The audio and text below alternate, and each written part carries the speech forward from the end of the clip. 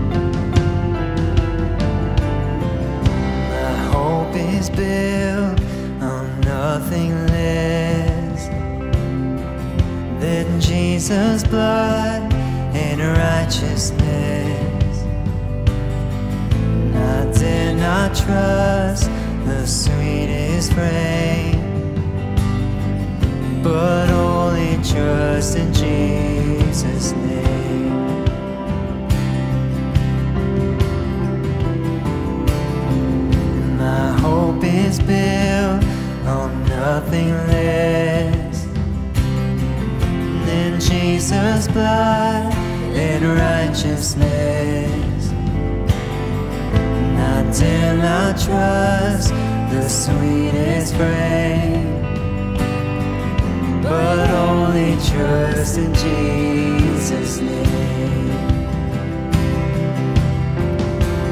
Christ alone, cornerstone, a weak made strong in a Savior's love through.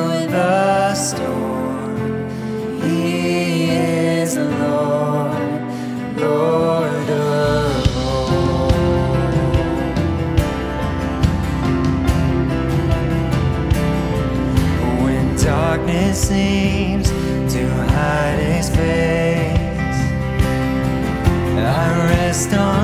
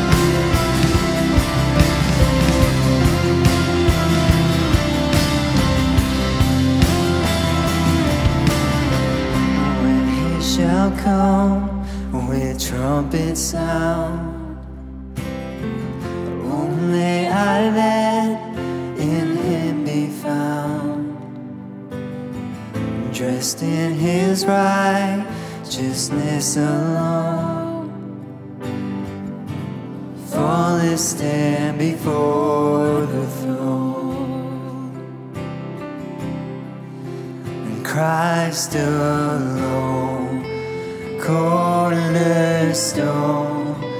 weak made strong in the Savior's love through the storm.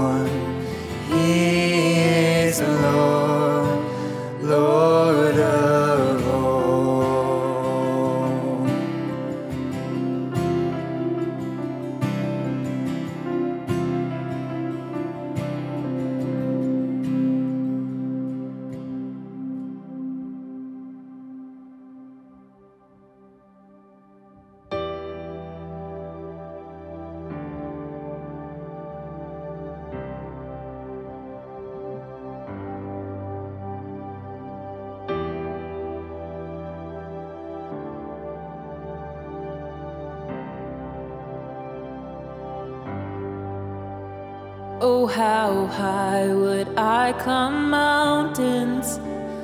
If the mountains were where you hide, oh, how far I'd scale the valley if you grace the other side. Oh, how long have I chased rivers from lowly seas to where they rise?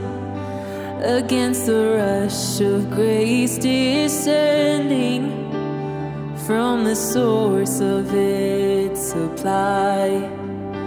Cause in the highlands and the heartache, you're neither more or less inclined. I would search and stop at nothing. You're just not that hard to find. Oh, I will praise you on the mountain. I will praise you when the mountain's in my way. You're the summit where my feet are. I will praise you in the valleys all the shadow.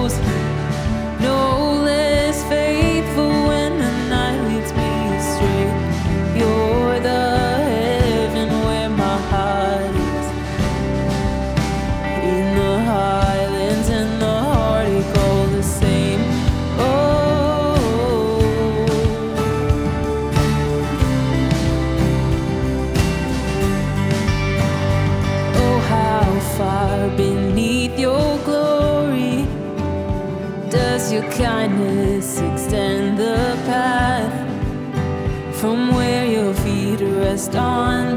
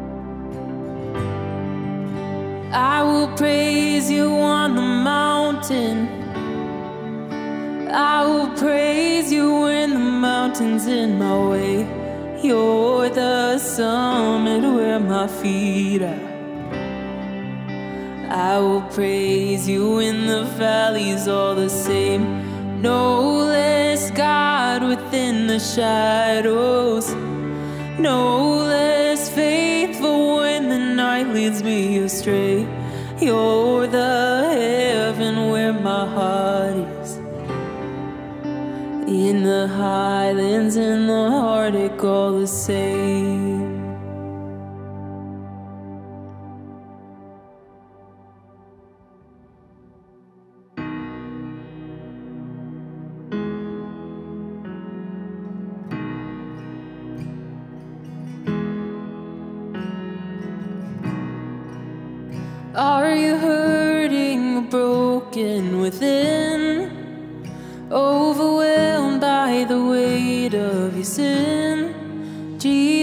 is calling.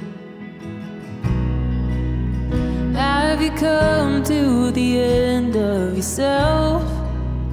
Do you thirst for a drink from the well? Jesus is calling.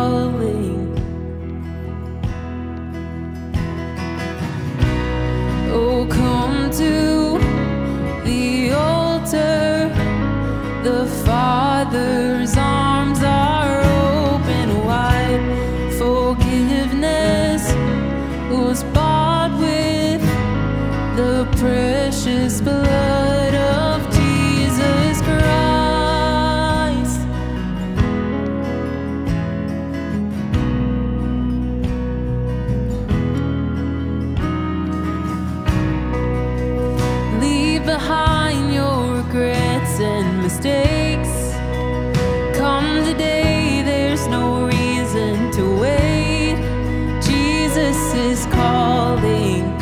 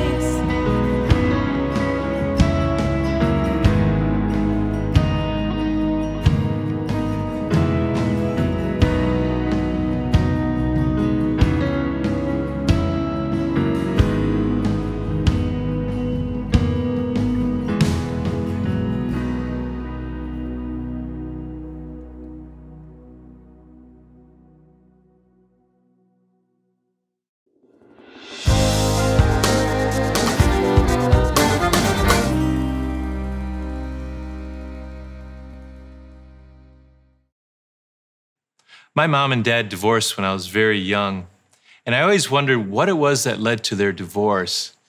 Once, when I was about 13 or 14, I was driving in the car with my dad, and I asked him, I said, uh, What made your marriage so difficult? And he thought for a moment, and he said that uh, his personality was naturally very spontaneous and sometimes even impulsive. And my mom's personality was she was more careful and a planner. And this caused a lot of conflict in their marriage. And then he was quiet for a few moments and he said, I'll explain the rest to you when you get a little bit older. Well, that never happened. He passed away when I was 18. But I was thinking about that conversation the other day, and it occurred to me that I don't think the tension point really was that my dad was spontaneous and my mom was more careful. I think the tension came from my dad was spontaneous and expected my mom to be more like him. You know, a lot of times uh, we bring expectations into marriage. Now, some expectations are fine. I mean, we make wedding vows to each other, and wedding vows are, in essence, one partner giving the other permission to have certain expectations. But expectations can go way beyond that. Sometimes we bring uh, excessive or unrealistic expectations into our marriages, and these expectations can cause a lot of problems. We're in a series called Satisfied, whether married or single. And today we're talking about marriage. And the name of this message is called Thriving in Marriage. How can we have marriages that truly thrive? Well, the answer we'll see we find in Scripture. And one of the things that Scripture deals with is the problem of expectations. Now, why are expectations a problem? Well, they very often lead to one of three scenarios. The first scenario is the winner loser scenario. That's when in a marriage you have one dominant personality and one more passive personality, and the dominant personality kind of asserts their will, and the peacemaker, more passive personality, tries to just satisfy their expectations. And one feels like a winner and one feels like a loser. But the problem is, in a marriage, if there's a loser, then the whole marriage loses. The other scenario, which is probably the most common, is what I would call the loser loser scenario. And that's where you work out compromises, where one partner will satisfy some expectations, but not all, and vice versa. So they both feel kind of satisfied, but not fully satisfied. Now, a marriage can work like that, it can be peaceful, but I think it'll fall short of thriving. And then sadly, there's the last scenario, which I just call total loss. And that's what happened with my parents. In fact, what I think happened with my parents is my dad kind of wanted the winner loser scenario, but my mom didn't really cooperate. And so they ended up in divorce. So, what's the answer to this? Well, that's a question I really struggled with when I was getting married. Uh, Lisa and I, we dated for uh, several years before we got married. And growing up, I never had a vision to get married. I, I never saw what I thought was a healthy marriage. So I was kind of reluctant to get married. But I was in love with Lisa, and she was an amazing girl. And I, and I knew I would never find another girl like her ever. So I wanted to marry her. But how do we avoid what my parents experienced? They probably felt like that when they were engaged. How do we avoid those pitfalls? Because I knew a lot of people that got divorced, smart people, nice people, people that were great, but they still ended up in divorce. How could we avoid that and keep our marriage strong and thriving?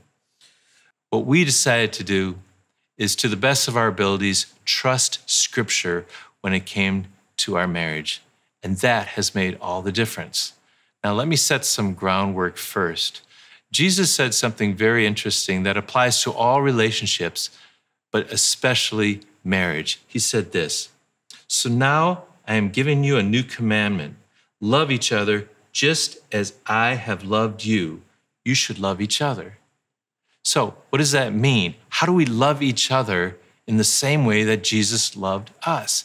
Well, there's another verse that defines that. This is from Ephesians chapter 2. It says, Live a life filled with love, following the example of Christ. And here it is He loved us and offered Himself as a sacrifice for us, a pleasing aroma to God. To love like Jesus requires more than just romantic feelings. To love like Jesus requires sacrifice.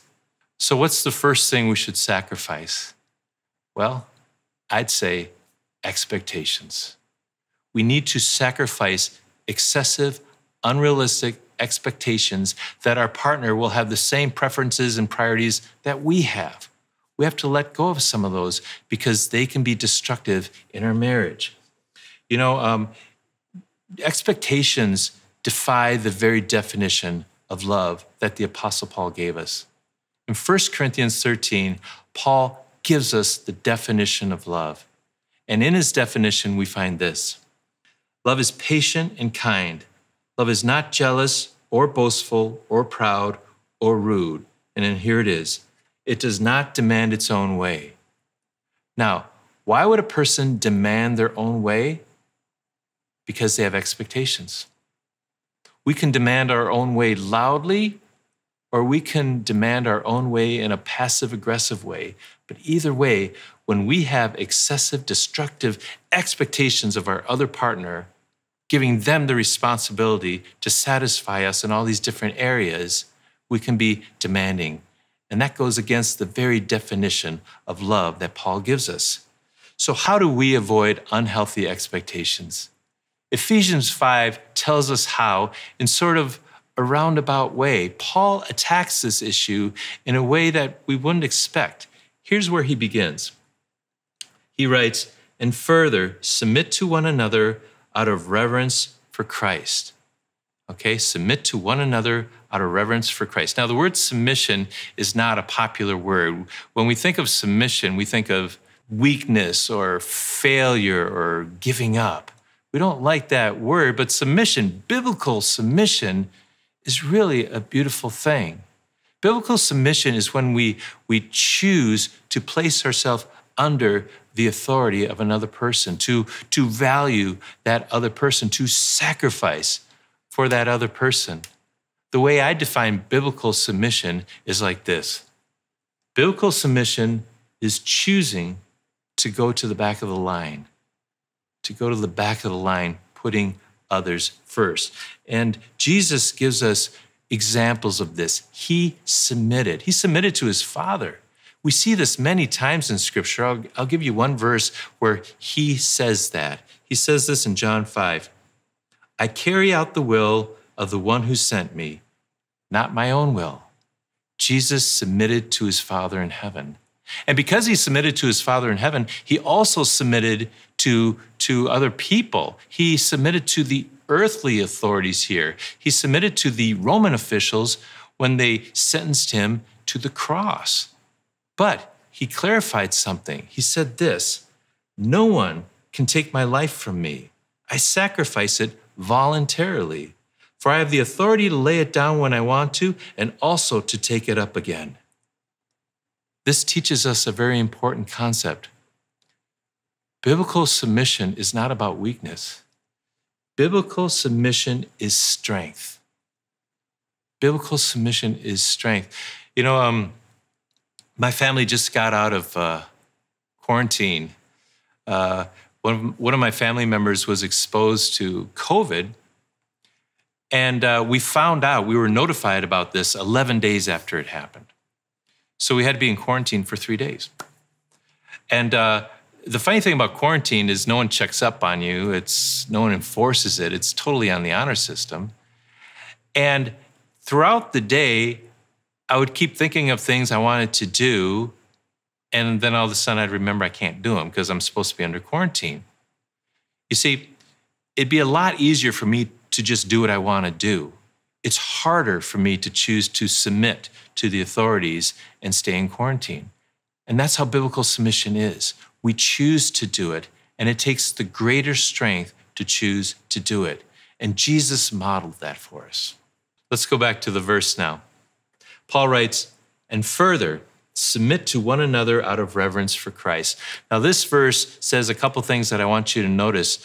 He says, submit to one another. Okay, so we see submission is a two way street. And in the very next passage, he's going to be talking about marriage. That tells us that marriage to thrive needs to involve a mutual submission. It's not just a one way street. Then he also says our motive for doing it is out of reverence for Christ. So that takes away that whole dynamic of, you know, I don't want to submit to this person because uh, they're not worthy or you know they haven't earned it or things like that.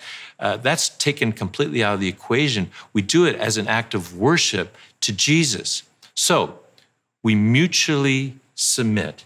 Now the submission is mutual but it looks different for the husband than it does for the wife.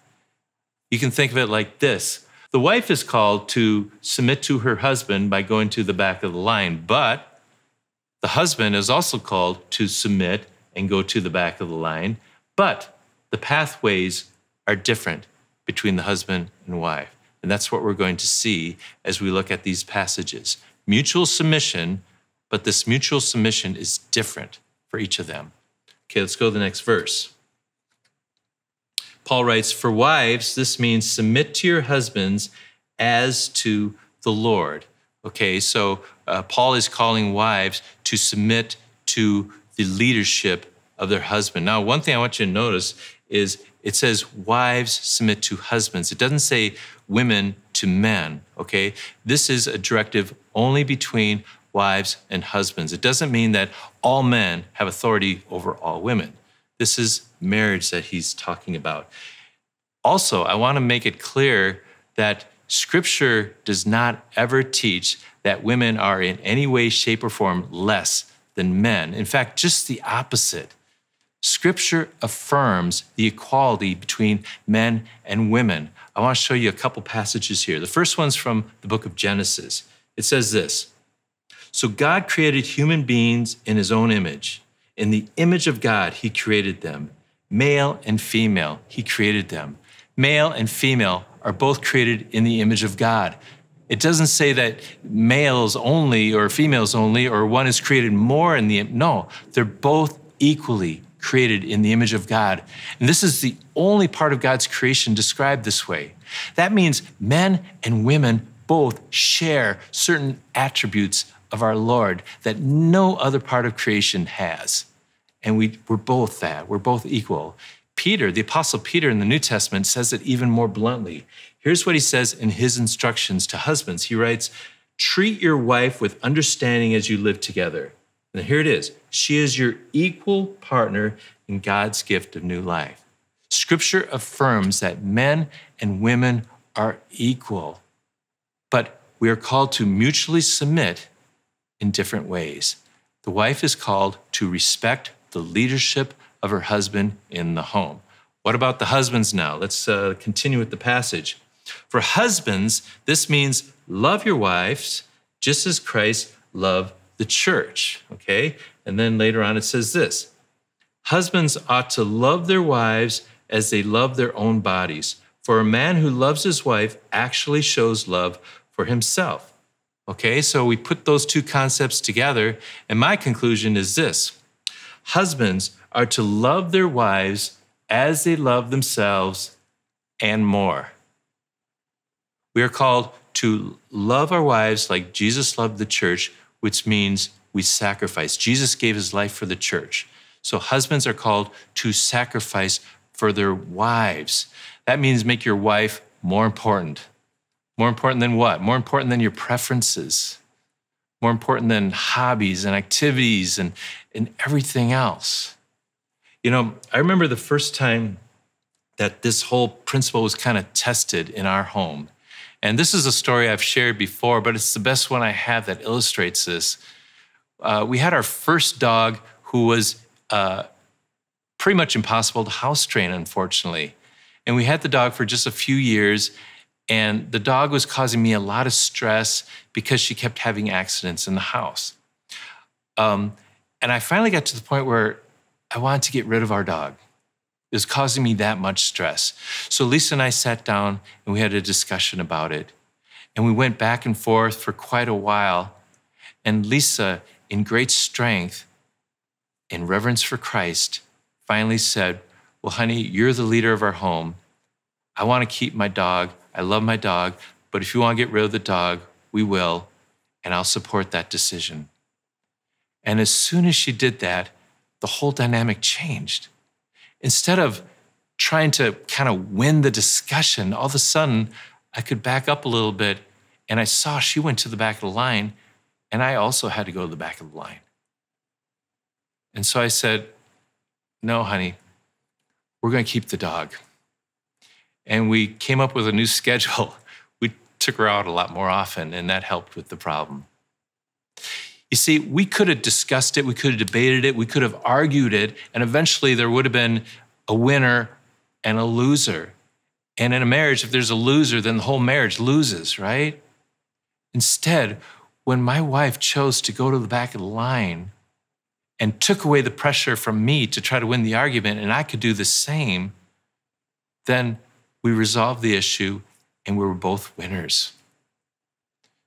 This is the beauty of this. This is the beauty of biblical submission in the home and how this can help our marriages thrive because it deals with so many micro issues that come up in marriage. Now, do Lisa and I follow this principle uh, 100% of the time in our home? No. Do we follow it 90% of the time? No. 80% of the time? Not sure. Maybe not. 75% of the time? I'm going to go with that. we do this 75% of the time, maybe more, maybe less. But my point is, you don't have to do it perfectly to see the benefits. You see the benefits when we do it the Lord's way and we trust His word. Now, I know what you're probably thinking. Many of you are thinking. There's an objection that many people have. We think, you know, husbands think, well, if I start doing this, then she'll always get her way. I'll never get my way, and she probably won't respect my leadership still. Or the wife is thinking, if I if I do this, then he'll abuse this, you know, and he'll and I'll feel like a doormat, you know. And we have these objections and fears, and we want to protect ourselves. So we resist this, or, or we, we make demands like, as soon as she starts respecting me, then I'll love her like Jesus. Or, or the wife will think, as soon as he loves me like Jesus, then I'll start respecting his leadership. But when we do that, then we, we fall back into that expectation mindset. And if we feel that tug in our hearts, I just want to direct your attention to our Lord Jesus Christ and his example to us. Look at this verse here.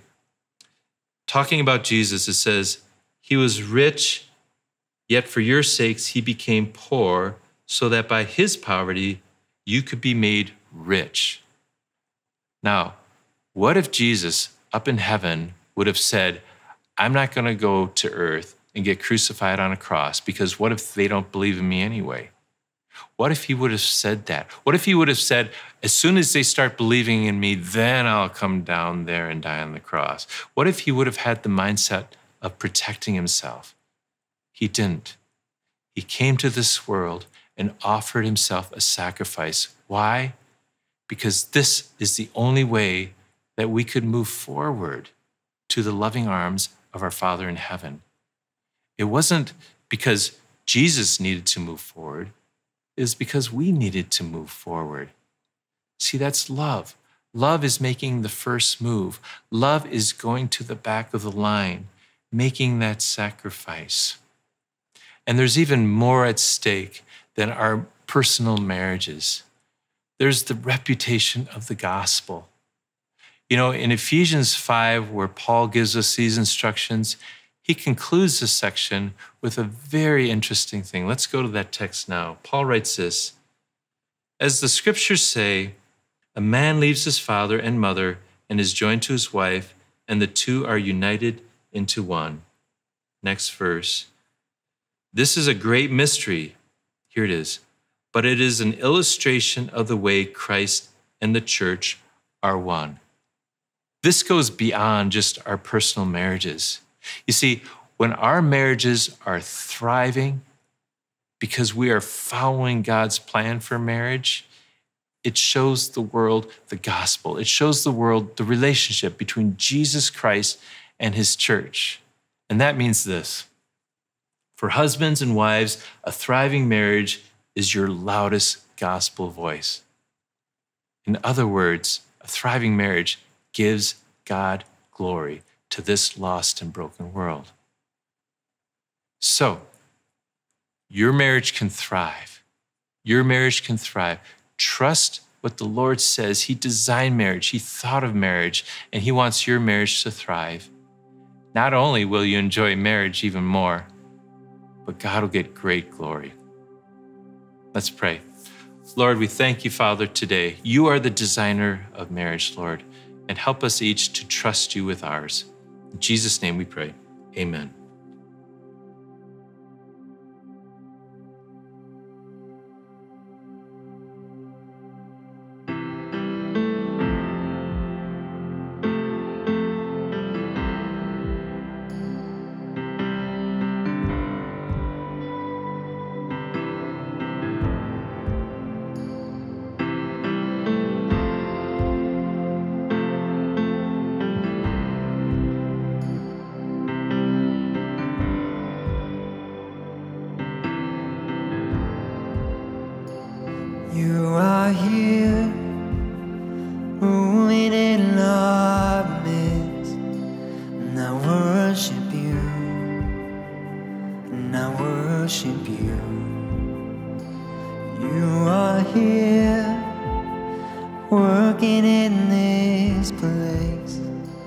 And I worship you, and I worship you.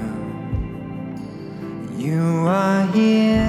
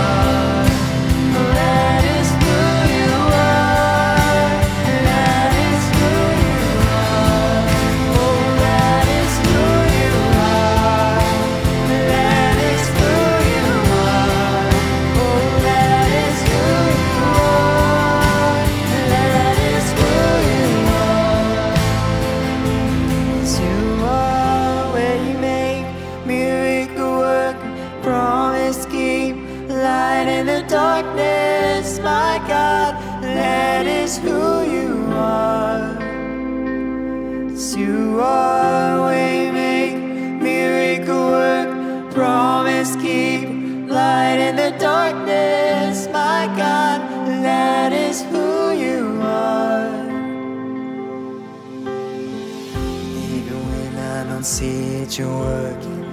Even when I don't feel it, you're working. You never stop, you never stop working. You never stop, you never stop working. Even when I don't see it, you're working. Even when I don't feel it, you're working. You never stop, you never stop working. You never stop, you never stop working. Even when I don't see it, you're working. You're working.